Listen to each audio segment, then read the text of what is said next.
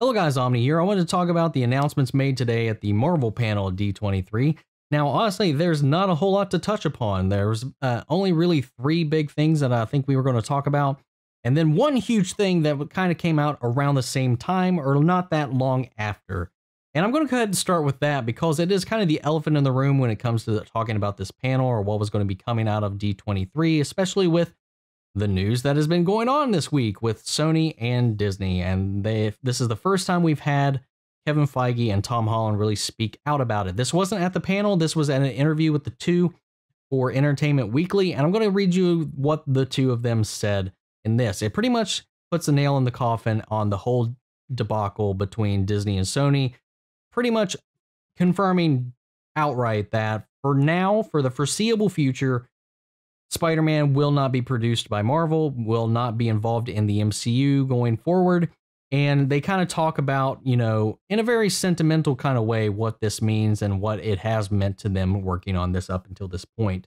Now, they do kind of touch upon that, just like what Sony did in their sta- official statement a couple of days ago, that they hope this may change in the future. So for now, Spider Man is not part of the MCU. That still may be subject to change down the road. We just have to wait and see. Right now, though, I would just pretty much consider it done at this point. So who knows?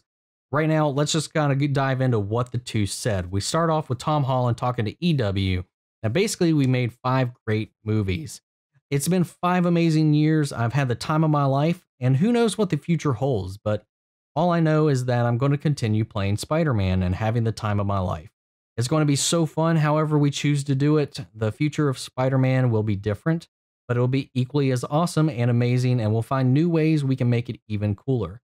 Feige goes on to kind of echo that sentiment in a way, saying that I'm feeling about Spider Man gratitude and joy. We got to make five films within the MCU with Spider Man, two standalone films, and three with the Avengers. It was a dream that I never thought would happen. It was never meant to last forever, we knew there was always a finite amount of time that we had to be able to do this, and we told the story we wanted to tell, and I'll always be thankful for that.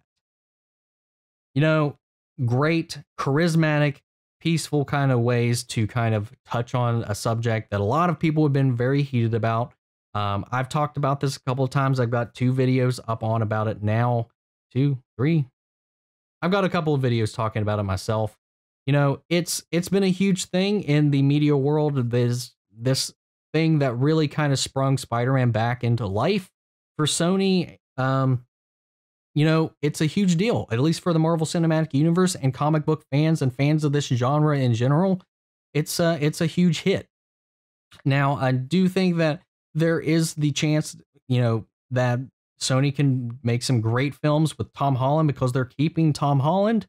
Uh, right now, the tug of war between Disney and Sony is now over who's going to sign Jon Watts to continue, who's been the director for both Homecoming and uh, Far From Home so far. So that's going to be something interesting to see how that goes because I really, I really want him to stick with Tom Holland. So I really hope that he can stick around because uh, there would be a noticeable tone change if they did kind of break up the creative team and just keep Tom Holland. I would like I think Sony's strongest bet is to keep the create as many of the creative forces in line once they take Spider-Man onto their back into their home turf.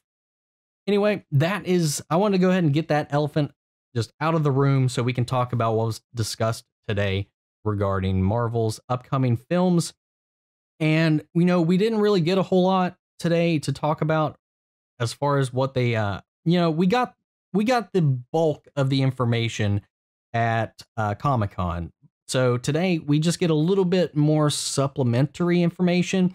We already knew that Black Panther 2 was coming out, but we got the title treatment for it as well as confirmation that Ryan Coogler is returning to direct and that it will uh, air in theaters May 6th, 2022. Following that, we have the cast of the Eternals taking the stage, and we get to see a nice spread of everybody in their movie outfits as well as some confirmations for some rumored castings that have been uh, unconfirmed up until this point. We do have confirmation that Angelina Jolie is playing Thena. Salma Hayek will be Ajak. Gemma Chan is confirmed to be Sersi, not Angelina Jolie. And Barry Keoghan is playing Druig, as well as the rumors of Kit Harington being confirmed of joining the MCU because he is joining the cast of the Eternals as Dane Whitman's Black Knight. So that'll be interesting to see. I don't know if he's just being typecast because he's playing another sword wielding, medieval flavored, kind of brooding character. So I'll take it. Now, again, I don't really know any of these characters. I I am not familiar with the Eternals by any stretch of the imagination, much like Guardians of the Galaxy was. That movie will be my introduction to that entire team, that world. Um, I know vaguely what the Eternals are, what they mean to the greater whole of the Marvel universe, and their ties to Thanos, uh, that race, everything like that, and how the kind of the role they play in the greater scheme of things. But I don't know the individuals. I don't really know the characters. I don't know their personalities, powers, any of that and I don't really know a whole lot about the Black Knight character. I, uh, I read a little bit about him today, and it sounds pretty interesting, but I'm really curious to see how this kind of all comes together and what it's going to play into for the greater MCU. So I'm really curious to see that. I'm really curious to see just these new aspects and things be explored. You know, you know, take some risk. They they they made a talking raccoon and a tree freaking make me tear up on many an occasion. So I'm willing to let the MCU do whatever they do, and I'll just roll with the punches and see how it all goes. Now that's that's really it. That's all we got for Marvel today. That's all we got uh, from D23 regarding upcoming Marvel films. Um, there was some footage that was shown exclusively that I have not been able to find online, at least legitimately, because I'm not going to review or react to footage that isn't publicly available. Uh, there was footage shown for Black Widow, and uh, it people have described it as being very much more of of like a it definitely had more of a spy kind of feel than it did for being a Marvel movie. Was the kind of the consensus that I've heard about from people who have seen it. So I don't really know how I can't really comment on it, but it's some footage was shown off for that film there. Uh, so that's really it on the Marvel end of things. And uh, I'm not too sure if we're going to learn anything new tomorrow. Uh, I'm not sure what all is in store for D23 tomorrow.